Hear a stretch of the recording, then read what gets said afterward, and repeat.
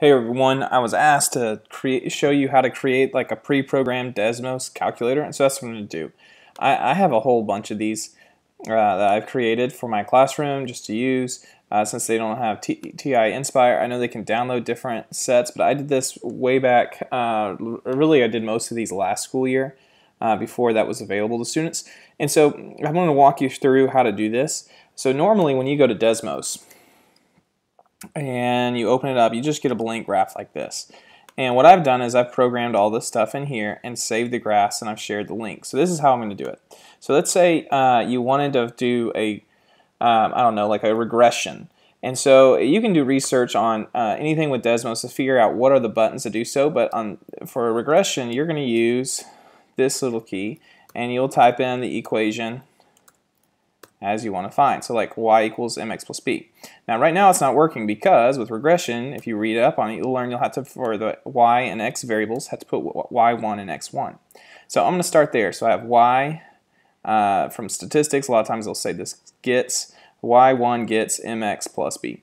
So here's what I'm going to do. I'm going to come down here and I'm going to create a table. And so the way to do a table is you hit the settings and uh, oh that's not it. Hit the plus. I'm sorry, plus table. And I'm going to name my variables here x1 and y1.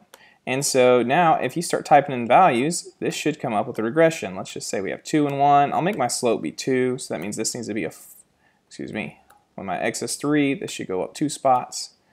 When my x is 4, this should go up 2 spots. My x is 5, and so on and so forth. Now, uh, as you do this, I messed up. There we go. Uh, I got a 7 there. It up here, it's telling you your equation m is 2 and my b is negative 3. And if you look over here, it shows not only the line in red, but it shows the points I put in in purple. Now all this you can change by hitting the settings. You can click the color and change it. You can select that you can, if you want to do this as lines, you can do that as lines. Uh, if you wanted to be able to drag the points and change the equation as you go, you can change all that in there in those settings. So again, you click on the settings, you click that, and you can change whatever settings you want. You could also click this one, change it whatever type uh, line you want it to look like, change some colors, things of that nature. Um, so in this case, I'll leave that there. I'll turn these points back on because right now I accidentally turned them off. Whoops, accidentally duplicate. I want to hit this, and I want the points on. I don't know why they disappeared. There they go and so they're back on. So that's how you could program this. Now here's what the key is. You have to create a username so you can save this. And once you, uh, so let's just say I titled this uh, linear regression. What you'll do is you'll hit save and it'll save these three little lines. You, you can see all the different graphs I've created. Um, I've just, you know, I don't know, done a lot of things that my pre-cal students might need to see if they're dealing with rotations and they want to take out the rotation of a conic, there that is. Uh, that was actually my, uh, I've done dot product, I've done all kinds of things. So you can open up and this way you can write down notes to tell students what they're doing so that they can come up with their graphs at home or when they're doing homework. So again, that's how you do it. And so once you hit that save, um, here we go. I'll open this back up. You hit save. You can come over here to the share button in the top right. I'm going to click that. It'll come up with a link. You can either copy the link or if you want to embed it, you can hit that embed button and it'll tell you to embed it. Now, why might you want to embed it? It would look something like this. So I just copied this right here. I hit Control C to copy. What I'm going to do is I'll come over here to our, um, I don't know if you use your PowerSchool website.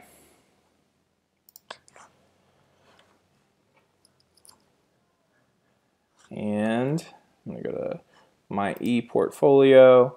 So like if you looked me up um, through the PowerSchool Learning, you could come over and see my little website and you went to Desmos Graphs. You'll see all these different links here. And I have embedded them. And what embed means is it's more than just a link. You actually see the picture where I last left off the graph. And so uh, you could come here and if you wanted to post what I just put in there, I'm going to scroll down to the bottom.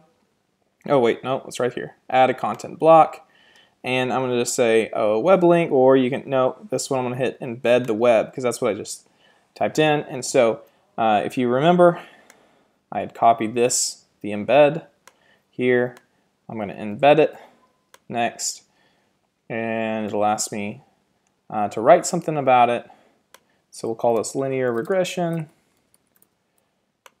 Click here for linear regression. You don't have to do this, but I am.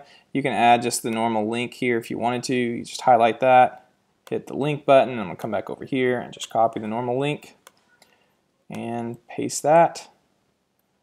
And I might have gone real fast. Just hit the rewind button, see what I just did there. And so now I have all this, hit save, and what's going to happen is down at the very bottom of this website, you'll see exactly what we just created.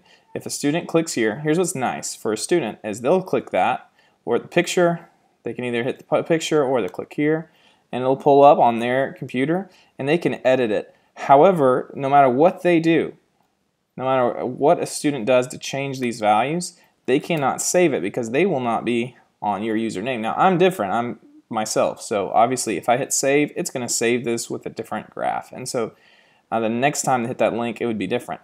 But for them, they can hit this all they want. They can change these values and it won't matter whenever they hit it the next time or if they refresh it, it's going to always pop up to what you last saved it as. So it's just a way to keep them from really screwing up your work and it's always available to them. So hope that's helpful to you.